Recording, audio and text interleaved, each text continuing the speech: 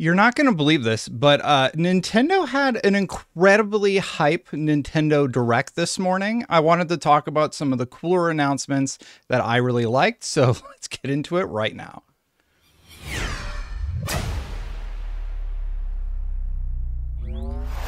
First things first, we have to talk about this. Uh, there apparently is going to be a Metroid Prime 4. They actually revealed it, and I'm going to be going through a lot of the announcements. Yeah, uh, Samus is back and looks better than ever.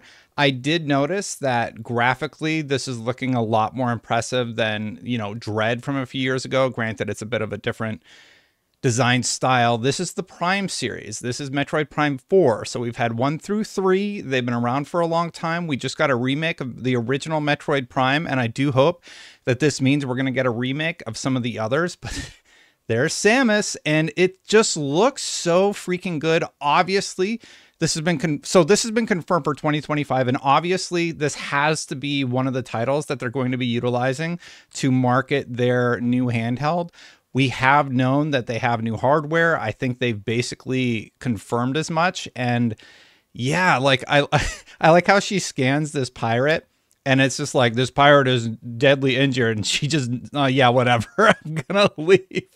So samus leaves and uh, continues on her mission. Uh, the game's looking absolutely great. I'm so happy that we're finally going to get metroid prime 4 i'm a casual metroid prime fan. Uh, I, I really liked Zero Mission a lot. I think Zero Mission, I believe Zero Mission was the remake of one. There were two on the, the Game Boy Advance that were remakes. Oh, yeah. Sorry. I, meant, I cut away before we got a look at whoever this villain is going to wind up being. But yeah, confirmed for 2025. And they closed it with that. I'm opening my video with it. But there were a few other announcements that y'all aren't going to want to sleep on. Game is looking great.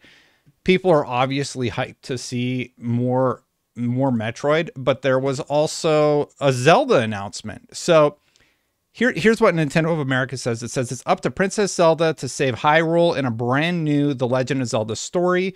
The Legend of Zelda Echoes of Wisdom launches September 26th. So this is coming out right away. And the art style is reminiscent of I I can't remember what Zelda was like Zelda 2, where they took the art style, made it look like this, and it was an adaptation of the Game Boy game and very well received.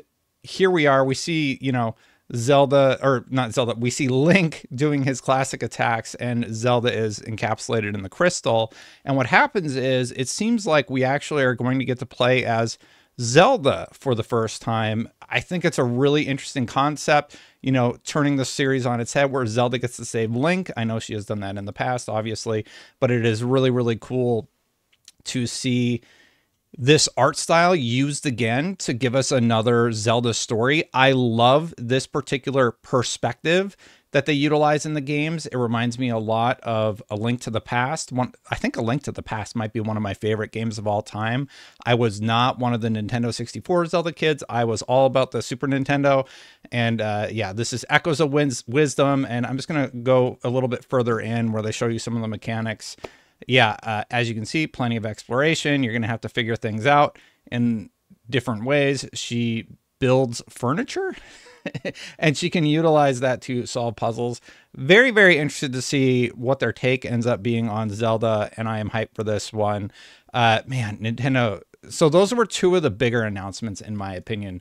But there was a lot of stuff in addition to that, like I brought up Metroid, uh, Metroid Zero Mission. There was Zero Mission and there was Fusion. They also announced a handful of games coming to their expansion pack. Link to the Past Four Swords, obviously one of those games that are a little harder to get these days, has that that design that I love from the old days from the Super Nintendo days and getting to see that that is coming.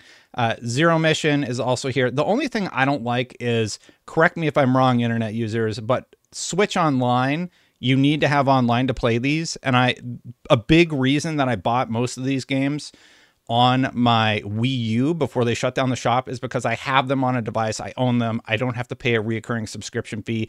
And all of these games were like a dollar for a while. So I spent like 50 bucks, got 50 games, and I have a lot of like the best Zelda games in existence. But that was another addition. Oh, yeah. And, you know, good timing. There was a Perfect Dark announcement. bringing back the OG to from Nintendo 64 to the the Switch and the reason that another part of the reason that I'm kind of excited for this stuff is because we know that new hardware is on the way and with new hardware means updated visuals, updated graphics, uh, a smoothness to the frame rate that we can likely expect. Okay, so in addition to that, we got Donkey Kong Country HD, another one of my favorite Super Nintendo games from back in the day. Very, very excited to see Donkey Kong going back at it, getting getting his bananas, doing the the regular quests. I played the heck out of this game back in the day. So a lot of this is just reminding me of my childhood. There were a few more announcements even beyond this. By the way, if you are a Nintendo kid or if any of these spark your nostalgia brain, hit that subscribe button, hit that bell. And if it doesn't, or you're already subscribed, hit that like button if you like me making these videos anyway. Yeah, Donkey Kong Country, it's classic Donkey Kong Country. I love this. I am so excited to play again. Um, Nintendo's been remaking a lot of my favorites. Like they just they remade Metroid Prime, as I mentioned earlier. They remade the uh, um, Legend of the Seven Stars. it's like literally one of my favorite games, and there's just so many things in my brain from Nintendo this morning that I, am blanking on the name of it. Uh, Super Mario RPG, The Legend of the Seven Stars. They made that earlier this year, and it was great. Now they're doing Donkey Kong Country. Uh, they're doing Donkey Kong Country Returns. So we have all of these HD games coming very, very soon. That's just so freaking great to see.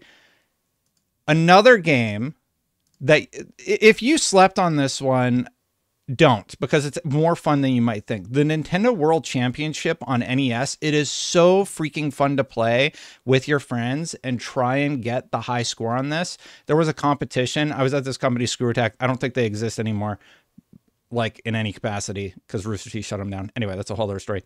Um, I would play this game all the time, and it is so freaking fun. the ma- The main games were like uh, Mario, and you had to get a certain amount of coins.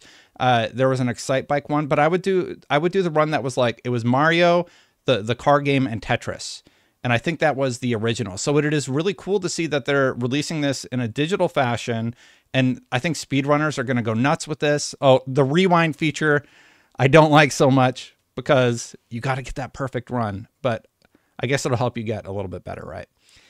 Oh, and you can post your high scores. That is so cool. So, very excited about that one. All this was during the Nintendo Direct today, which was nuts. But there was one other addition that I think surprised and delighted a lot of people. That was an announcement from Marvel. Marvel versus Capcom, the Fighting Collection is going to include arcade classics, seven legendary games, one super heroic collection. We're going to get Marvel vs. Capcom 2. The Marvel Punisher beat 'em up was in there. Maybe they have a list of all the games here at the end. Let's just go to the end here. Yeah, so Mar okay, here. We'll just do the logo splash. I love I played these in the arcade so so freaking much. So there's a bunch of different modes. The Punisher, I'm definitely to get this. So I think that was X-Men Children of the Atom. They go through them really fast because there's seven of them. So we got X Men Children of the Atom, Marvel Superheroes, X Men versus Street Fighter, Marvel Superheroes versus Street Fighter, Marvel versus Capcom. I think that was one, Marvel versus Capcom 2, The Punisher. Wow. So, like, all in one collection. Definitely, definitely worth it. I still have some of these on the 360 arc like I think the 360 did Marvel versus Capcom. They did Street Fighter 3 Third Strike and they did uh, Marvel versus Capcom 2. But you know what? I am a sucker for great collections, and that looks like a good collection. I think I still have my Marvel versus Capcom 3 disc, so I don't really need that one. But all of that, all of that was revealed during the Nintendo Direct. And I didn't even touch on like the the Dragon Quest stuff and all of the other reveals. So if I missed anything in the comments below, let me know what I missed that you really liked. But wow, what a conference. Thank you for watching, everybody. Hit that subscribe button, hit that bell. Uh, I don't cover Nintendo very much, but I am a Nintendo fan, obviously. I was a Sega kid that ended up being a Nintendo kid by the end of that console generation. Thank you for watching. If you want to become a member and support this channel, you can do so. Thank you all. Thank you so much to the members who have supported the channel. I do greatly appreciate you. Click that join button right there if you do want to support. Check out my video yesterday talking about all of the stuff Xbox revealed. they just had so many great things and i'm probably going to make a video about the starfield thing there's been a lot of news the last few days so keep an eye out keep subscribed thank you so much for watching i'll see you for the next one bye for now everybody